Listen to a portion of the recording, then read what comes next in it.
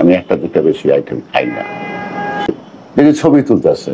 বেধড়ক পিটানোর পর গায়েশ্বরকে কেন ডিবি কার্যালয়ে নেওয়া হয়েছে? সরকার কি কোনো প্রলোভন দেখিয়ে গায়েশ্বরকে কিনতে চেয়েছেন? ডিবি কার্যালয়ে খাবার খাওয়া নিয়ে এবার মুখ খুলেছেন গায়েশ্বর সরকারের কোনো প্রলোভন গায়েশ্বরকে কিনতে পারবে না বলে মন্তব্য করেছেন বিএনপির স্থায়ী কমিটির সদস্য গয়েশ্বর চন্দ্র রায়। তিনি বলেন, সরকারের কাছে এত টাকা নেই যে গয়েশ্বরকে কিনতে পারে, সরকার গ্রেপ্তার করতে পারে।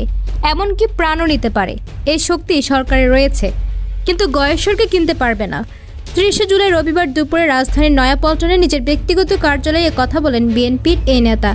তিনি বলেন, একমাত্র মৃত্যুই চলমান গণতান্ত্রিক আন্দোলন থেকে আমাকে থামাতে পারবে। ঈশ্বরের কাছে প্রার্থনা, দলের ভারপ্রাপ্ত চেয়ারম্যান দেশনায়ক তারেক রহমানের নেতৃত্বে চলমান গণতন্ত্র ও ভোটাধিকার প্রতিষ্ঠার আন্দোলন সফল না হওয়া পর্যন্ত তিনি যেন আমাকে চিতায় না তোলেন।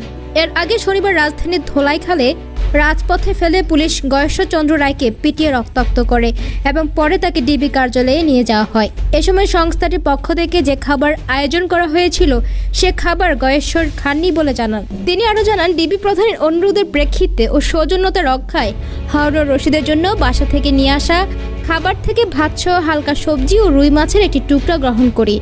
গয়েশ্বর বলেন, ডিবি প্রধান আমাকে অনুরোধ করেছে রুই মাছটি তার গ্রামের বাড়ি কিশোরগঞ্জ থেকে নিয়ে আসা হয়েছে। আর যেহেতু ডিবি প্রধান নিজেই খাবারটি খাচ্ছেন, তখন আমার মনে হলো এটা যদি গ্রহণ করি তাহলে কোনো সমস্যা হবে না। তবে আপ্যায়ন করে সেটা ছবি সহ ভিডিও বিভিন্ন সামাজিক যোগাযোগ মাধ্যমে ছড়িয়ে দেওয়ার ঘটনাকে অত্যন্ত ন্যাক্কারজনক ঘৃণ্য কর্মকাণ্ড বলে আখ্যায়িত করেন এই বিএনপি নেতা। তিনি বলেন, যারা এই কাজটি করেছে, এটি অত্যন্ত নিম্নরুচির পরিচায়ক, এক ধরনের তামাশাপূর্ণ নাটক। এতে কি সরকার প্রমাণ করতে চায় যে আমরা হা ভাতে ভিক্ষা করে খাই?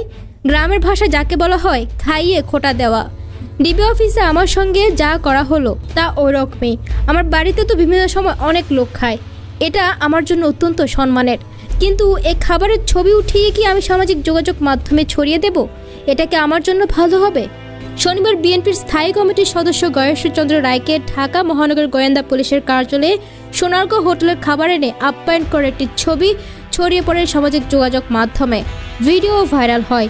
ভাইরাল হওয়া ভিডিওতে দেখা যায় গয়েশ্বরের প্লেটে খাবার তুলে দিচ্ছেন ডিবি প্রধান।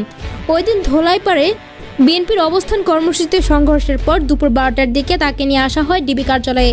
পরে বিকেল তিনটার দিকে ডিবি কার্যালয় থেকে গয়েশ্বরকে নয়াপল্টনে তার ব্যক্তিগত কার্যালয়ে পৌঁছে দেওয়া হয়।